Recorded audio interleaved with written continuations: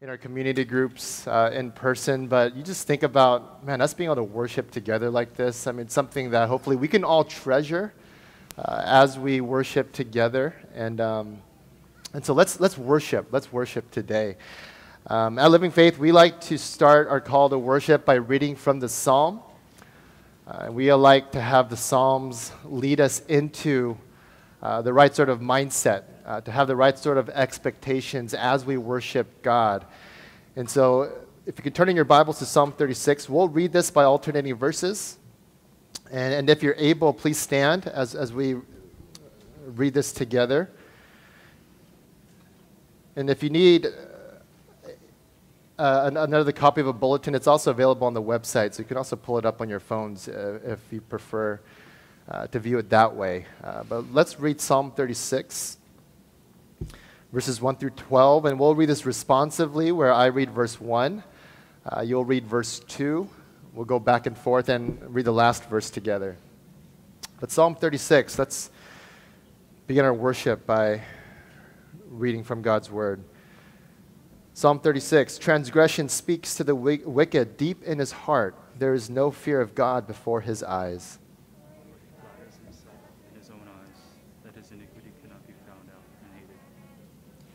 The words of his mouth are trouble and deceit. He has, ca- he has ceased to act wisely and do good. He plots trouble while on his bed. He sets himself in a way that is not good. He does not reject evil. Your steadfast love, O Lord, extends to the heavens, your faithfulness to the clouds.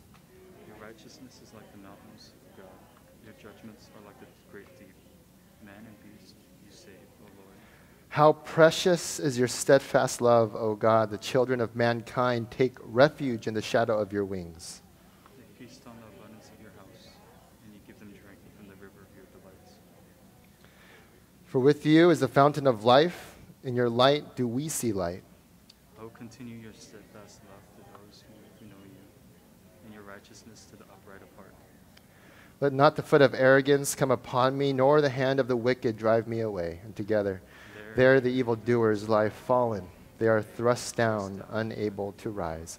You know, you think about just what we just read, and, you know, you think about how we relate to evil, uh, how we relate uh, to God. I mean, this psalm is, is having us consider these things. And God's steadfast love uh, comes up over and over in this psalm. And, and my hope and prayer for us as we're worshiping God is that we could, as this psalm said, take refuge in the shadow of God's wings. Under in his refuge, receive his steadfast love today. And my hope and prayer is that we can do that together. Uh, let me pray for us as we uh, begin our worship together. Father, we come before you, Lord, and we even confess that, that there are times when we have no fear, no reverence for you. And yet, Lord God, even in those times, even in those seasons, Lord God, we read here of your steadfast love. And Lord God, even in those seasons, your steadfast love, it meets us where we are and it draws us to yourself. And so, Lord, as we worship you, wherever we might be, wherever our hearts might be, oh Lord, help us to receive your steadfast love and help us, Lord, to once again to be changed by your steadfast love for us in Jesus Christ. And as Jesus taught his disciples to pray, we also pray together. Our Father, who art in heaven, hallowed be thy name. Thy kingdom come, thy will be done, on earth as it is in heaven. Give us this day our daily bread, and forgive us our debts as we forgive our debtors. And lead us not into temptation, but deliver us from evil. For thine is the kingdom, and the power, and the glory forever. Amen.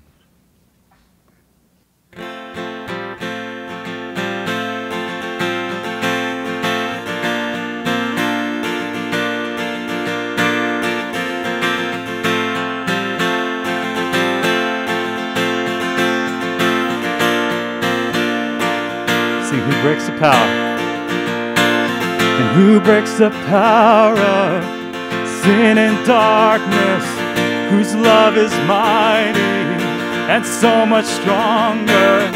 The King of glory, the King above all kings. Who shakes the whole earth with holy thunder, who leaves us breathless in awe and wonder, the King of glory the King above all kings. Oh, this is amazing grace. This is unfailing love. That you would take my place. That you would bear my cross. You would lay down your life. That I would be set free. Oh, Jesus, I sing for all that you've done for me. Who brings our chaos back into order? Who makes the orphan a son and daughter? The King of glory, the King of glory, who rules the nations with truth and justice, shines like the sun in all of its brilliance. The King of glory, the King above all kings. No, this is amazing grace. This is unfailing love. That you would take my place. That you would bear my cross. No, you would lay down your life. That I would be set free. Oh, Jesus, I sing for all that you've done for me. And worthy is the Lamb who was slain. And worthy is the King who conquered the grave. And worthy is the Lamb who was slain. And worthy is the King who conquers the grave. And worthy is the Lamb who was slain. And worthy is the King who conquers the grave. Oh, worthy is the Lamb who was slain. Oh, worthy, worthy, worthy, oh. And all the earth will shout your praise. Our hearts will cry. These bones will sing. Great are you, Lord. And all the earth will shout your praise. Our hearts will cry. These bones will sing. Great are you, Lord. It's your breath. And it's your breath in our lungs. So we pour out our praise. We pour out our praise. It's your breath in our lungs. And so we pour out our praise to you only. It's your breath in our lungs. And so we pour out our praise. We pour out our praise. It's your breath in our lungs. And so we pour out our praise to you only.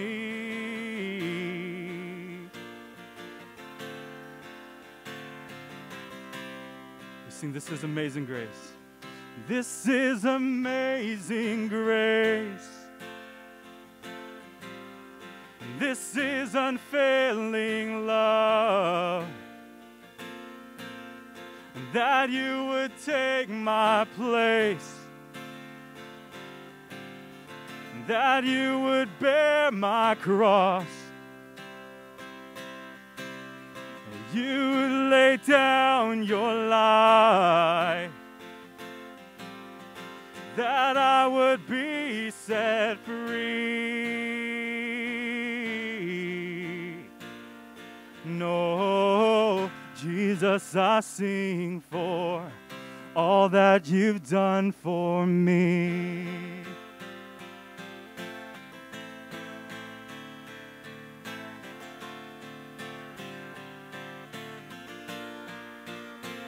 Your grace and your grace is enough, more than I need. At your word I will believe, and I'll wait for you. Draw near again. Let your spirit make me new, and I will fall at your feet. Yes, I will fall at your feet, and I will worship you here.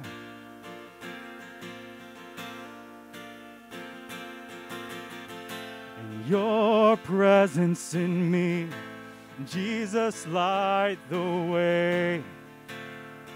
By the power of your word, I am restored. I am redeemed. By your spirit, I am free. And I will fall at your feet.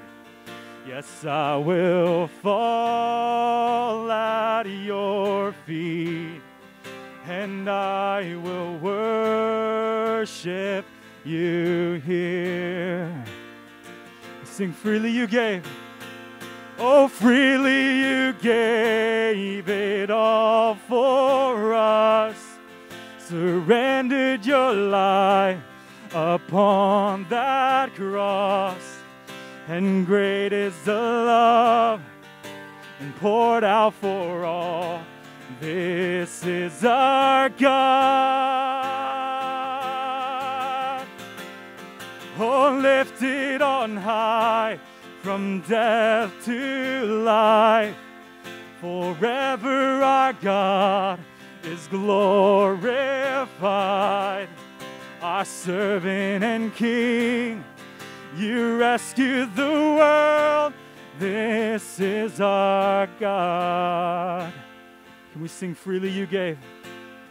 And oh, freely you gave it all for us. Surrendered your life upon that cross. And great is the love poured out for all. This is our God. And oh, lifted on high from death to life. Forever our God is glorified. Our servant and King, you rescued the world this is our God.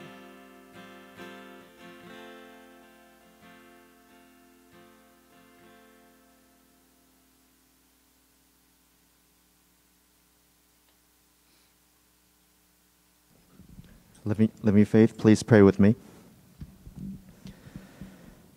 God in heaven, we gather here in this parking lot in the name of your Son, Jesus we lift up this prayer to you with hearts that are knit together by the amazing grace and mercy we have received by your costly sacrifice at Calvary's cross.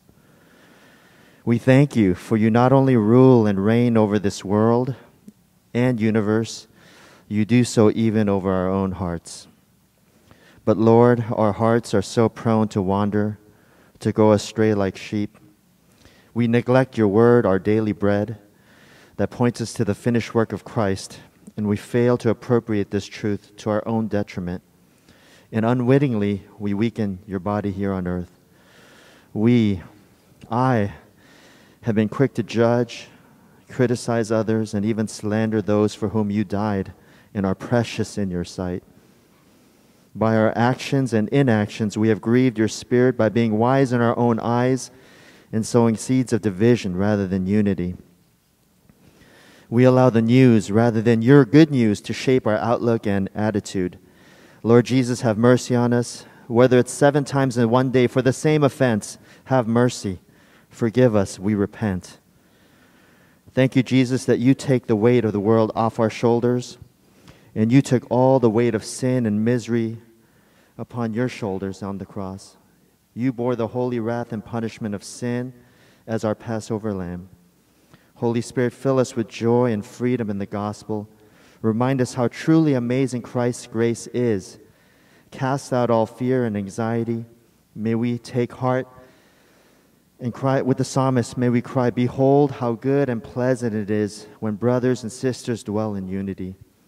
May we be a community of faith that is known for loving you with all of our heart, soul, mind, and strength, that is known for constantly forgiving one another. Help us to heed your words, Lord Jesus, that by our love for one another, all people will know that we are your disciples. As a right, rightful response to the gospel, may we pursue what makes for peace and for mutual upbuilding. We lift up baby Jeremy as he has relapsed into bouts with his seizures. We appeal to you, Jesus, the great physician, to restore him, heal him. Give Hojin and Lisa strength to persevere and trust you in all things. We pray for uh, Phil's mom and James's father as they battle cancer. Grace's father and Matt's mother for their health. Holy Spirit, strengthen them, mind, body, and soul, to hope in you. Heal them, Lord. Be gracious to them and all of us here and now who need healing from depression, anxiety, and the futile pursuit of anything but you. Lord Jesus, as we hear your word preached, as we address one another in psalms and hymns and spiritual songs, singing and making melody to you with our hearts, as we partake in communion, in this parking lot, give us a taste of heaven. Give us a preview of the eternal rest that is to come. For this light and momentary affliction is preparing for us an eternal weight of glory beyond all comparison. Restore unto us the joy of your salvation. Come, Lord Jesus, we ask all of this in your powerful name. Amen. All right, you may be seated. And at any point, um, if you're finding yourself in the sun and you need to move, uh, feel free to move at any point during the service. Uh, but we're in a sermon series, right? And maybe before we get into God's Word, just a, a real quick announcement is that uh, we have that prayer meeting that we do on a monthly basis. That's happening this Wednesday. And so, again, you can find that link to join uh, on our website. Um, and we'll also send out an email for you guys uh, a little bit later uh, this week. But if you can join us, that would be great as we pray together, not only for one another, but even for the church and for the world. And so, hopefully, you can join us for our prayer meeting this Wednesday. Uh, but we're in a sermon series uh, called The Lord Reigns. Uh, we've been in a sermon series called The Lord Reigns, and we've been looking at different Psalms so that we could better understand what that means, what our response to that truth should look like. And, and we think about just everything that's going on uh, with the pandemic, with everything else that's maybe not even happening uh, during this pandemic. Man, we need this sort of truth this sort of unchanging truth that the Lord reigns to impact us, right? To comfort us, to inspire us. And so, as we turn to Psalm 96, I'm going to read this, this entire chapter for us. Psalm 96. So, please turn with me there if you have your Bibles. And even once again, if you're able, um, out of reverence for God's word, let's, let's stand once again um, as we hear God speak to us through his word. Psalm 96. I'll read all 13 verses for us here.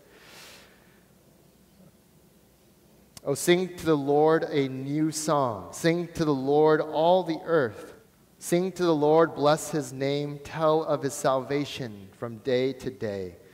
Declare his glory among the nations his marvelous works among all the peoples. For great is the Lord, and greatly to be praised. He is to be feared above all gods, for all the gods of the peoples are worthless idols, but the Lord made the heavens. Splendor and majesty are before him. Strength and beauty are in his sanctuary. Ascribe to the Lord, O families of the peoples. Ascribe to the Lord glory and strength. Ascribe to the Lord the glory due his name. Bring an offering and come into his courts. Worship the Lord in the splendor of holiness. Tremble before him, all the earth. Say among the nations, The Lord reigns. Yes, the world is established, it shall never be moved. He will judge the peoples with equity. Let the heavens be glad and let the earth rejoice. Let the sea roar and all that fills it. Let the field exult and everything in it. Then shall all the trees of the forest sing for joy before the Lord comes. Before the Lord, for he comes. For he comes to judge the earth. He will judge the world in righteousness and the peoples in his faithfulness. Amen. Please be seated. And let me pray for us. Father, we, we need your Holy Spirit to really impress this truth upon our hearts. And, and even as we read and heard from your word, Lord, we need your Holy Spirit to move us, to compel us to sing, uh, to rejoice in light of this truth. And so, Lord, for those of us who have uh, suffering hearts, Lord God, we just pray that through your word that we might be comforted.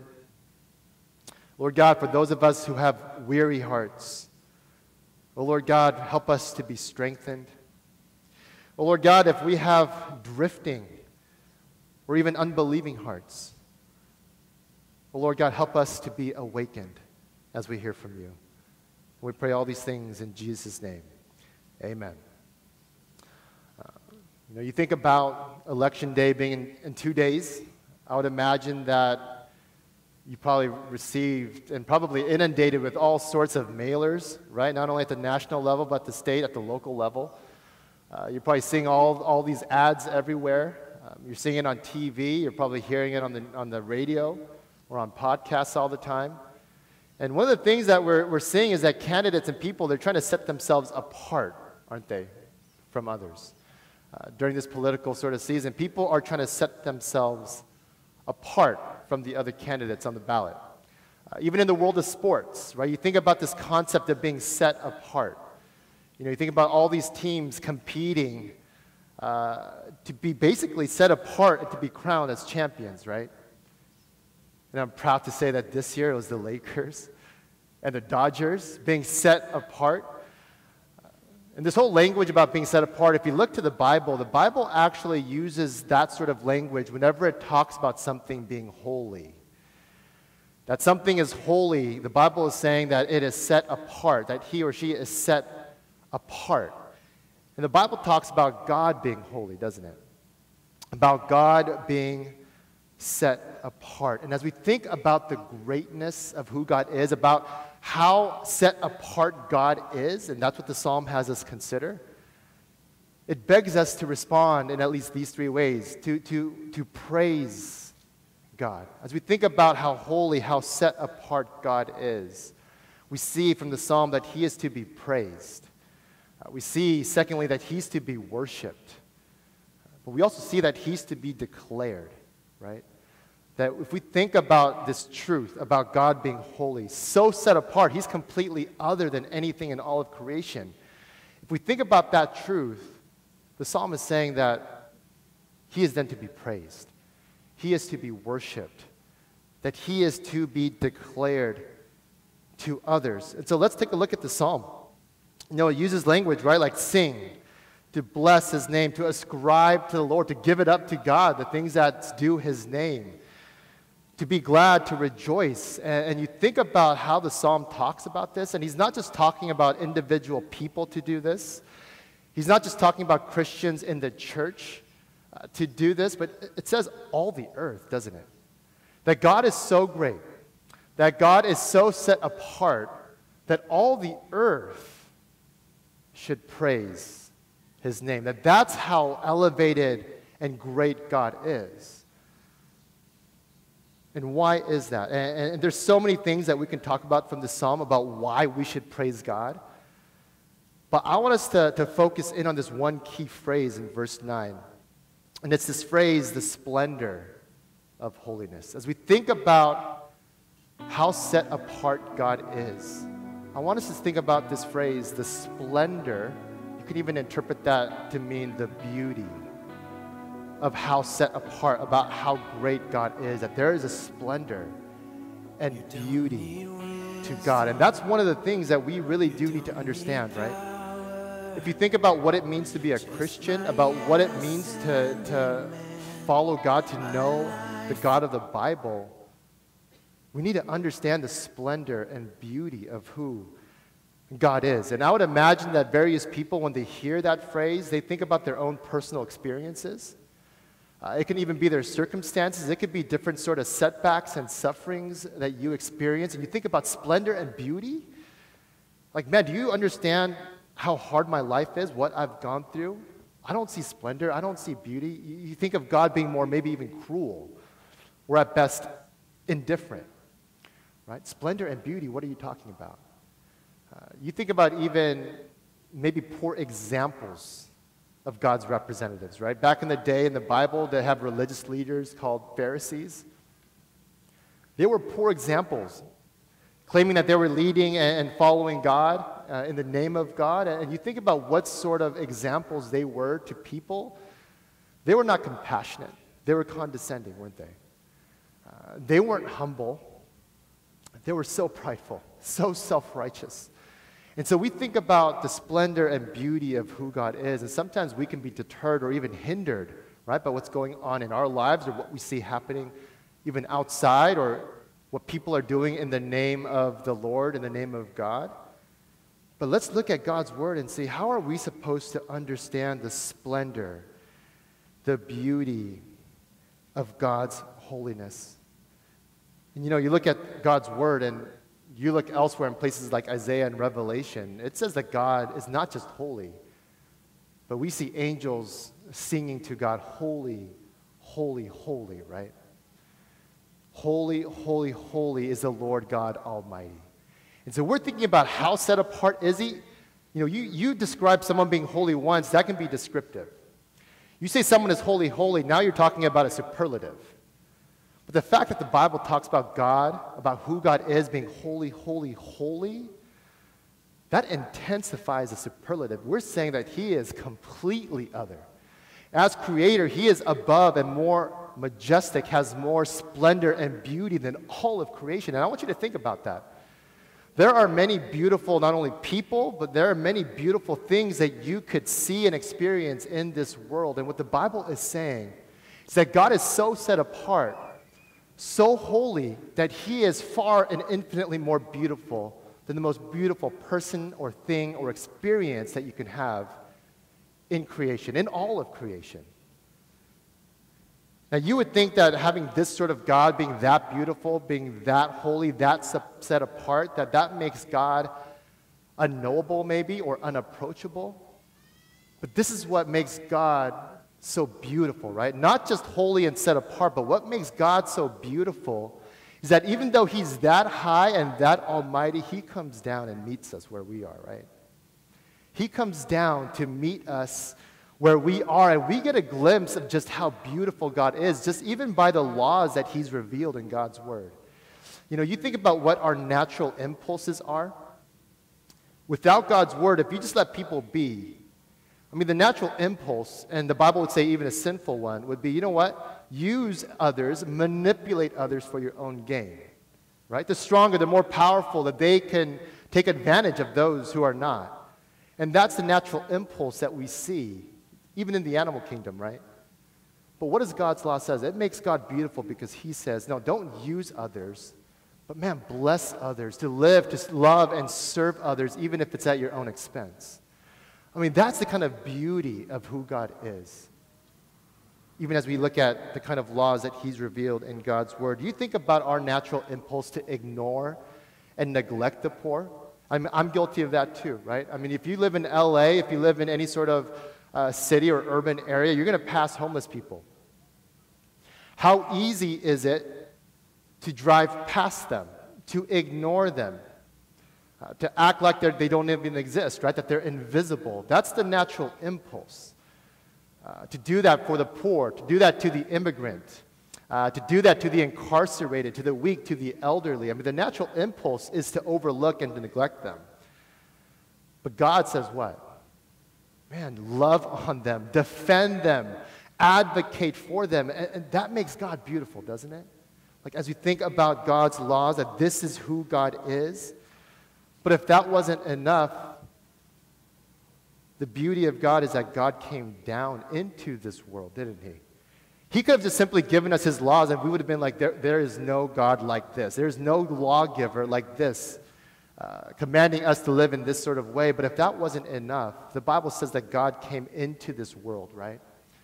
He entered our sufferings, not simply so that He could sympathize uh, and understand us better, no, but so that He can save us from it even at his own expense. And we see that in the person of Jesus, right? We see not only the holiness, the, the otherness of Jesus when he lived and walked this earth, but we see the beauty of who Jesus is. We think about how Jesus, how he totally gave of himself. He served, even at his own expense, uh, those around him. You think about him washing the disciples' feet. And knowing that Judas would betray him, he even washed Judas's feet. I mean, that's a whole another different kind of world, kind of principle and kind of living, right? You think about how Jesus walked and didn't just simply help those who were strong or didn't simply help those who can help themselves, but no, he helped and loved and ministered to the poor, the sick, uh, even the Gentiles, right? Those who were not Jewish. He didn't stick simply to his own tribe. We think about even how Jesus, he could have come into this world with his angels, with his posse, right, if you will. And he could have come to destroy all of his enemies. But we think about the beauty of who God is in Jesus Christ, and we see that Jesus came not to destroy his enemies, but to love his enemies by even dying for them, by dying for you and me, right? We were once his enemies. And yet, God, in the person of Jesus, came to die even for his enemies, to save even his enemies. This is what makes God who he is, right? This is the splendor. Uh, this is the beauty of God's holiness. And, and this is why the psalm says he is to be praised. But if you think about how this truth changes us, it, it doesn't just move and compel us to praise God more. But what something or someone is set apart and is so has so much splendor, has so much beauty, that praise will give birth to something greater, right? If you have something or someone that's so beautiful and you want to treasure it, you elevate it, don't you? Uh, you don't keep it mixed with all the other things, with all your other belongings, but there's something that you treasure, that you're constantly praising because you enjoy it so much. I mean, you elevate it. And praise if it's about the object of our praise being, it has splendor, it has beauty, it's going to give birth to worship. And that's what we see in our passage too. And that's what we see even in our own lives, right? This isn't just something we see in the Bible. Things that we love and enjoy so much, we end up moving and worshiping that thing. We give ourselves to that thing or to that someone. Uh, praise has and worship has this sort of effect. And, and the Bible will say, and we see this in verse 4, that great is the Lord and greatly to be praised. He is to be feared. Above all gods, it says, that he is to be feared. And again, the Bible, when it says, uses this sort of language about fearing God, it's not just talking about being, af- about being afraid of God. It's talking about having this reverential awe and wonder about who God is, right? About being drawn to God, not being drawn away from God. About being drawn to God. And the Bible will say that it's not about if you worship God or something else, but what or whom you worship, right? Because we're all praising something. Uh, all of us, as we're living our lives, we're drawn to worship. If it's not going to be God, someone or something else. And, and this is something that we need to all slow down and even ask ourselves and examine what's going on, even in, in our own hearts and in our own lives. Is during this pandemic, in light of everything that's going on right now, what do you find yourself wanting to praise, right? Is there something that's missing that you're wishing that you could praise and rejoice about more? Or is there anything that's happening in your life right now that you're being drawn to praise? And that sometimes gives you an idea, right, of are we moving and drawing closer to God or, or, or, or being driven further away? You think about during this pandemic, is, is there anything that has been threatened or, again, even taken away so that the way that you're responding to that is, is, is you're getting more angry or upset? Uh, in light of whatever's going on right now, do you, do you feel shaken? Feel like life is falling apart? Like, like you feel like you're, you're getting crushed because something is being threatened or taken away? When we think about those questions, we're trying to get to the object of worship in our hearts. And we all have these various objects, right? None of, no one is perfect where we're only worshiping God. We have, for, I mean, for so many people, gods, right? That we're being drawn to, that we're wanting to praise, that we're wanting to trust, uh, that we're wanting to serve, that we're wanting things from. And, and just to give us a few examples, I, I thought about even in my own heart what's being exposed. Because this is a question, right? Like, what's being exposed in your heart? The Bible will say that the circumstances reveal what's in your heart, right? And I'm asking myself, what's being revealed in my own heart during this time? And I'm realizing that what's being exposed and revealed is this idol or this desire to have control, not simply about my circumstances, but over my emotional life, right?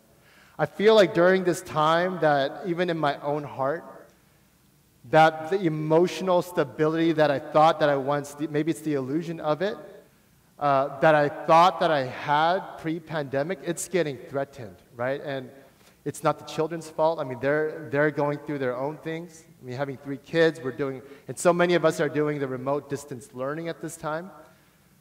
Uh, we're both working from home. I mean, there's so many things that you can't control in light of what's happening day to day. And what I'm finding in myself is I'm losing the control over my emotional life that I'm getting riled up, that, that there are times when I'm not pleasant to be around at home. There's this, this, this idol of, of control that's being threatened, uh, even in my own heart during this time. I mean, what is it for you? Right? Is it money? Is that being threatened? Uh, what is it? Is it even the sense of, of personal fulfillment that all the different hobbies or the different sort of things that you enjoy doing, are those being taken away so that you feel like, man, this journey of wanting to be a better version of myself, that I'm not able to pursue those things, is that being threatened? You know, I was watching um, Free Solo the other day. It's a documentary about, um, what was his name? Um, Alex Honnold someone who wanted to free climb El Capitan in Yosemite. And this was after we watched the Dawn Wall. And it was so interesting that for him, climbing this wall without ropes, it was so important to him. I mean, he even talked about having this free solo mentality, right? Where you give of yourself 100% to something. And for Alex Honnold, for him, it was giving himself 100% of himself to this climb, even if it could mean him dying right? Every single one of us, we have something going on in our hearts. And what God is saying is that all the gods, this is in verse 5, right? He says, All the gods of the peoples are worthless idols, but the Lord made the heavens. And what God is saying is that they are worthless because they are counterfeits to the real thing. All these things that we're wanting to, to, to be more fulfilled, to be more happy, in this life, if it's not God, it's going to keep asking more of us. It's going to keep asking us to give more of ourselves to it. And, and we're not going to be happy. That even as we give more of ourselves to it, that we're going to be more tired. We're going to feel emptier. The Bible is saying that if you keep giving yourselves to counterfeit things, it's going to leave you and put you in a place where you're even more hopeless. We were meant to worship the God who made the heavens. We were meant to worship the real thing and not counterfeits. We were meant to worship the God who made us. This is the sort of God that we have. This is the sort of splendor and beauty of who God is, and we are being by the Spirit, hopefully moved to worship this God. But lastly, we see in the psalm that this God is to not only be praised and worshiped, but to be declared. And it says, among the nations, among all peoples. I mean, if you just peruse, kind of take this brief overview, this, this glimpse over this entire psalm, in verse 2, it talks about telling of his salvation from day to day. It says to say among the nations in verse 10 that the Lord reigns, that he's coming to judge. If you think about the splendor and the beauty of what we're supposed to declare to others, we're saying this thing that there is a judge, that there is a king, that there is a creator, that there is a savior. And this savior is Jesus. That that's what we're called to declare through our words. You think about what Paul says in Acts 17. He talks about how he, God calls all people everywhere to repent and how he has fixed a day on which he will judge the world in righteousness. And, and, and pay attention right here. It says, by a man whom he has appointed. And of this he has given assurance to all by raising him from the dead.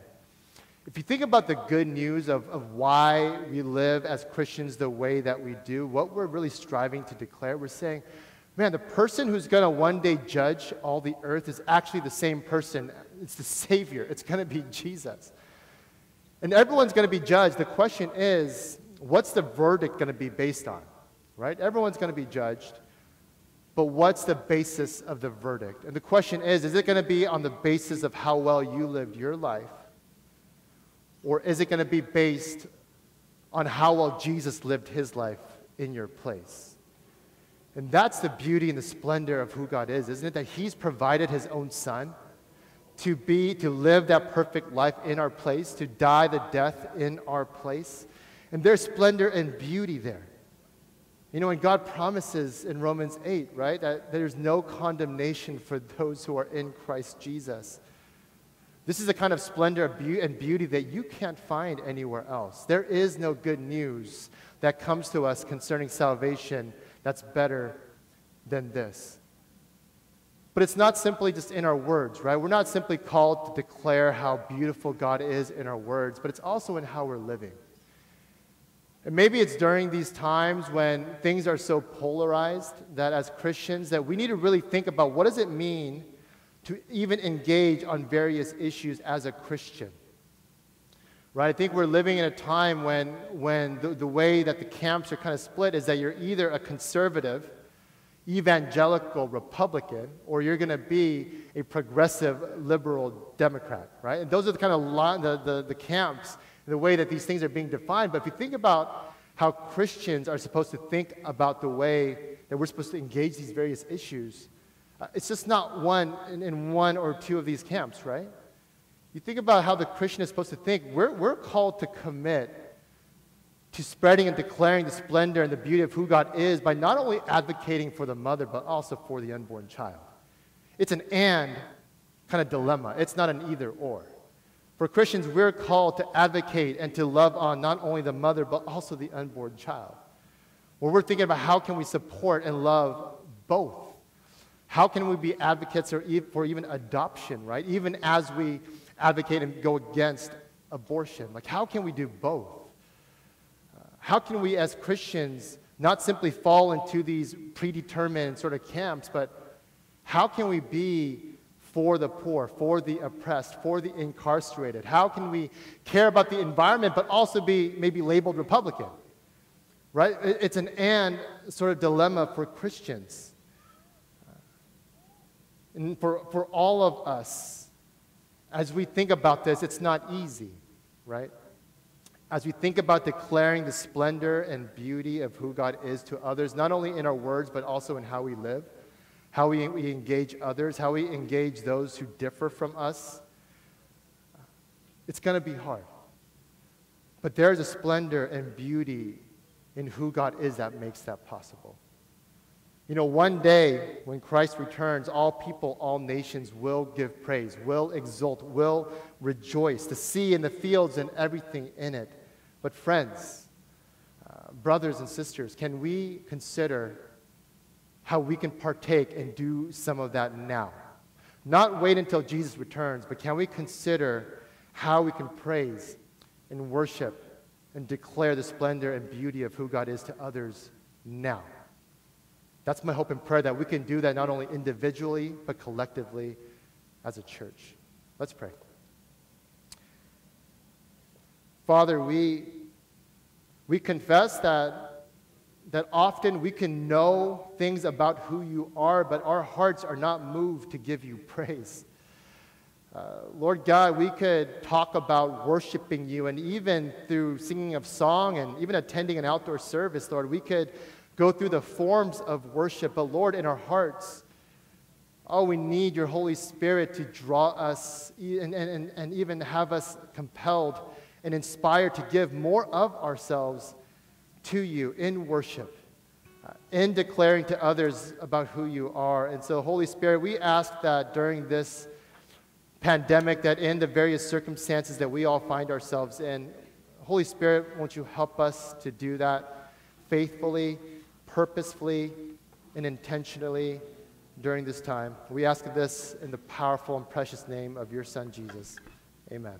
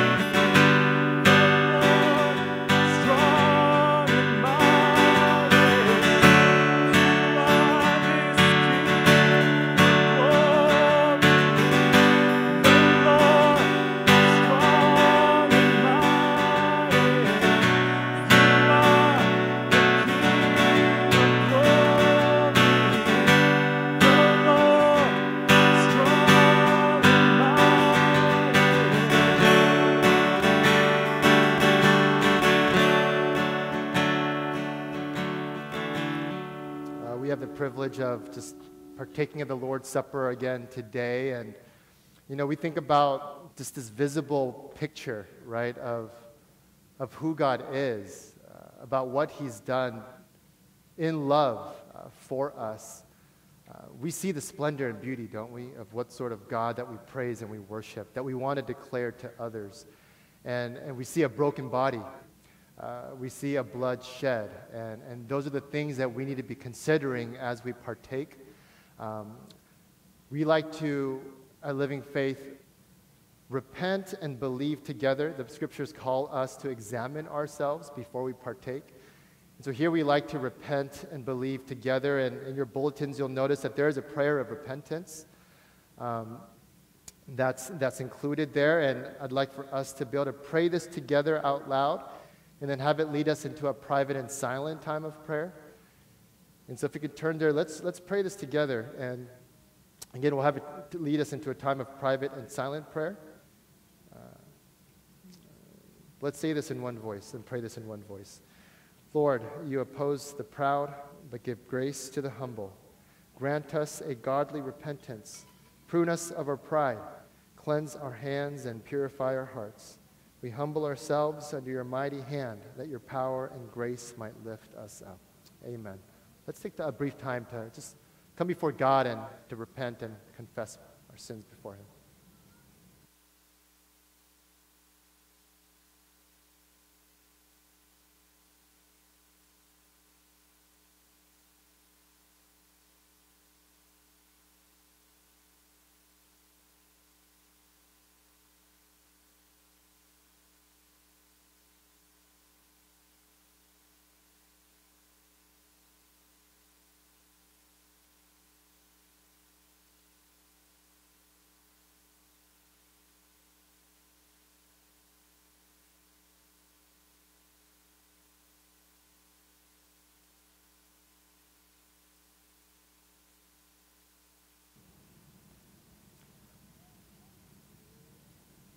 Oh, Father, as we come before you, we recognize, our God, the, the seriousness of, of sin, of living in ways that are contrary to your word.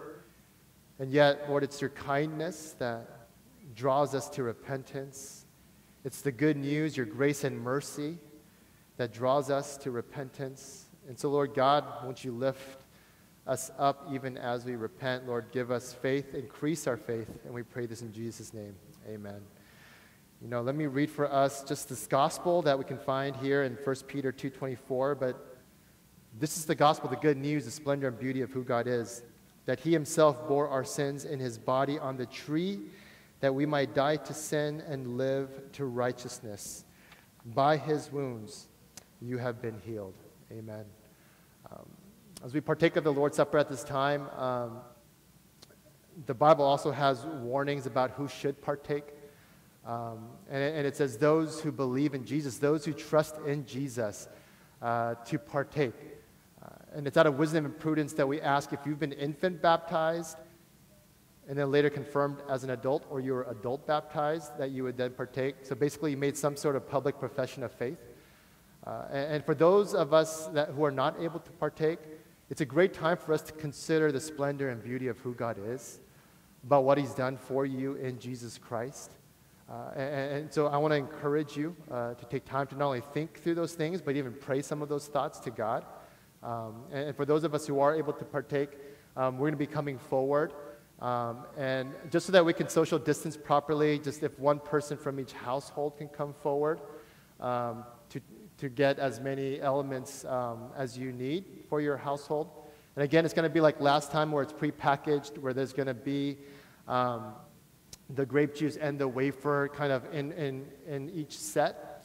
Um, and so please come up. There's going to be a table here, a table there on, on each side. Uh, I'm going to ask Elder Jimin to, to come forward um, to help. And so if, if, if you're on the right side, of me if you can come forward to where Elder Jimin is, and if you're on the left side, if you come to the left table. And please hold on to it, and we'll partake together at the end. Um, but at this time, um, I'd like to invite uh, us to come forward and, and partake of the Lord's Supper. I see the King of glory coming on the clouds with fire. The whole earth shakes, the whole earth shakes. I see his love and mercy washing over all our sin. The people sing, the people sing. Oh, Hosanna,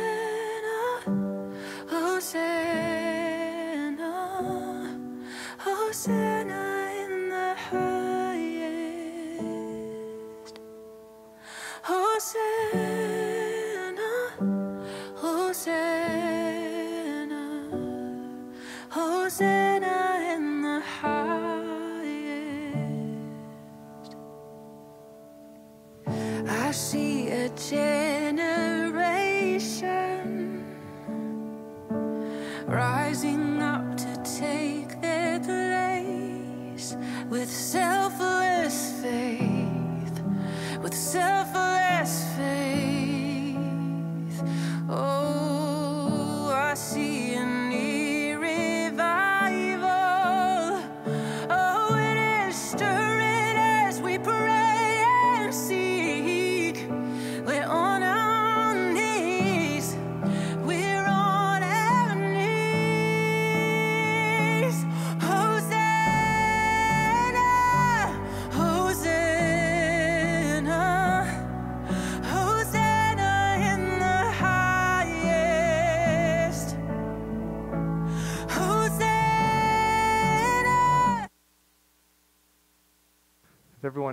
uh, a set, uh, this is Christ's body broken for you. That's, there's going to be a plastic film that you need to remove first uh, to get to the wafer. Let's first partake.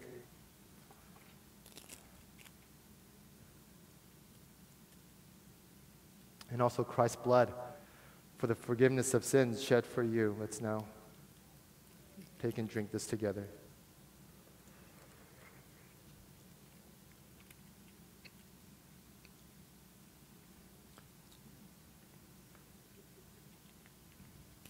Let me pray for us. Father, we, we thank you for not only your love, but Lord, how you've demonstrated your love not only once on the cross, which would have been sufficient enough, but Lord, you continue in your steadfast love to love us, Lord God, every single day. Your mercies are new, Lord God, every single morning. And so, Lord, help us to believe in this. Help us to live in light of this. And we pray this in Jesus' name. Amen.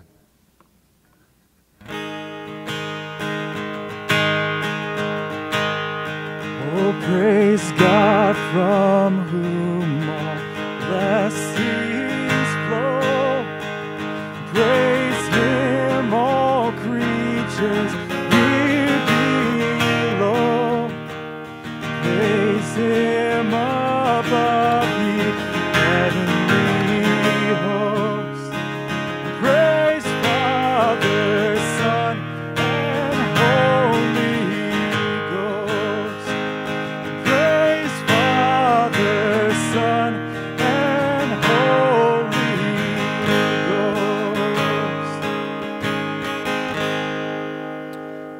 as our worship service comes to a close, please stand and receive the blessing of the Lord.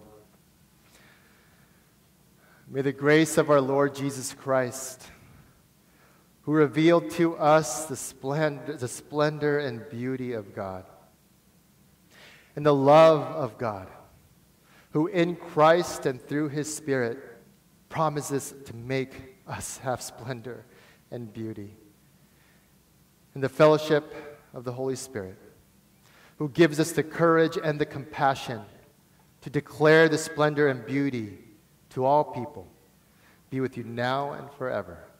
Amen. Amen. Living Faith, have a great Sunday and a great rest of the week.